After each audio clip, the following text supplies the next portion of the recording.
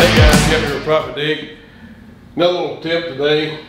When you're bidding work, the main concern, in my opinion, is you need to know what it costs you to operate.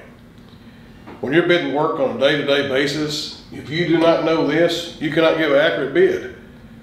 And if you don't know what it costs you to run your crew per day or multiple crews per day, what it costs for your crew, your equipment, your material, so on and so forth, you cannot put a bid together and put a markup on it and know that you're going to make money.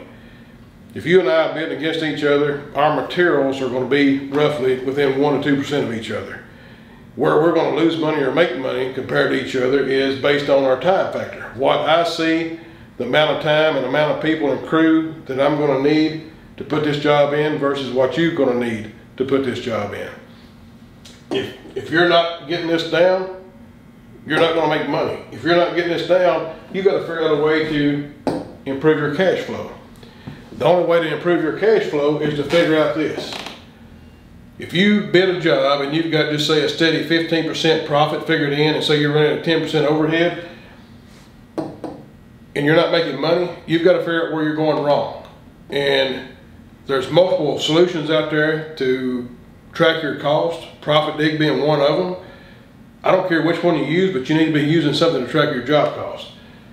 But the only way you can improve your cash flow and recover from jobs that's been underbid is to track your cost and find out where you're losing money and correct it, and that will automatically improve your cash flow. If you're going in at a 15% profit margin or 10% profit margin, you want to hit that mark or do better. You know, if I go in at 15%, I want to try to come out at 20, 25%. Always, the only way you can make it up is to speed your crews up and do it in time because your materials are going to cost you the same regardless. So guys, you have to know what it costs you to run your business to be able to improve your cash flow. Thank you.